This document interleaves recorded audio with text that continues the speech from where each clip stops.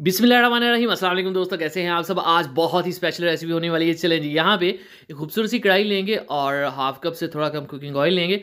One tablespoon भर के हमें चाहिए अदरक लहसुन का पेस्ट जिसको हमने लो से फ्लेम के ऊपर दो से तीन मिनट थोड़ा सा पकाना है फ्राई करना है। उसके बाद दो प्याज को बिल्कुल बारीक चॉप करके हम इसमें ऐड कर देंगे। चलें जी, इसको भी अच्छे से पका लेंगे और उसके बाद जब ये थोड़ा सा ट्रांसपेरेंट हो जाएगा, तब एक बड़े साइज़ का टमाटर बिल्कुल बारीक चॉप किया हुआ ऐड कर देंगे इसके अंदर। चलें जी अब हमने क्या करना है? आलू है हमारे पास आधा किलो जिनको हमने अच्छे से काट के अच्छे से छील लिया था। इसको आपने ऐड कर देना है थोड़ी सी इसकी करेंगे भुनाई और यहीं पे इसमें हम ऐड करेंगे। दोस्तों मैं हूँ फ्यान सारी। चैनल पे नए हैं चैनल को ज़रूर सब्सक्राइब कीजिएगा वीडियो की वीडियो को लाइक कीजिएगा और नीचे बेल आइकन का बटन वो भी ज़रूर दबाइएगा। शुक्रिया। कुटी हुई लाल मिर्च दो टी टी स्पून है ये ऑलमोस्ट और इसको यहीं पे ऐड करेंगे। वन टीस्पून नमक ऐड कर देंगे।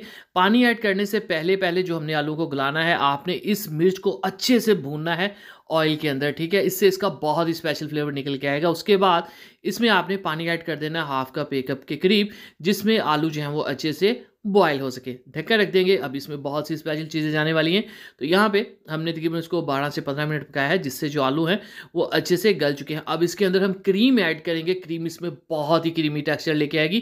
और एक बहुत ही आपको स्वीट सा टच मिलेगा, ठीक है? जो आपको स्पेशली चिकन कढ़ाई वगैरह में मिलता है। इसकी हम अच्छे से पकाई करेंगे। याद रखिएगा क्रीम जब भी ऐड करते हैं, इसको कम्प्लीटली कुक किया जाता है, जब तक इसकी वाइटनेस कम नहीं होती, ठीक है? हाफ़ टी स्पून काली ज़ीरा ऐड कर देंगे हाफ़ टी स्पून काली मिर्च, दोनों चीज़ें इसमें ऐड करेंगे। और ये है हमारे पास हरी मिर्चें, ये ऐड कर देंगे लेमन ऐड कर देंगे और इसको हम थोड़ा सा पका लेंगे।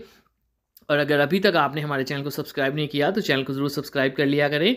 इससे हमारी हौसला अफजाई होती है। चले जी अब एंड पे हरा धनिया ऐड करेंगे और इसकी करेंगे मिक्सिंग अब इसमें जो हमने आ, कुटी हुई मिर्च को आ, फ्राई किया है अच्छे से पकाया था फ्लेवर निकाला था साथ हमने जो क्रीम तैयार कर ली थी बहुत ही शानदार रेसिपी तैयार होगी।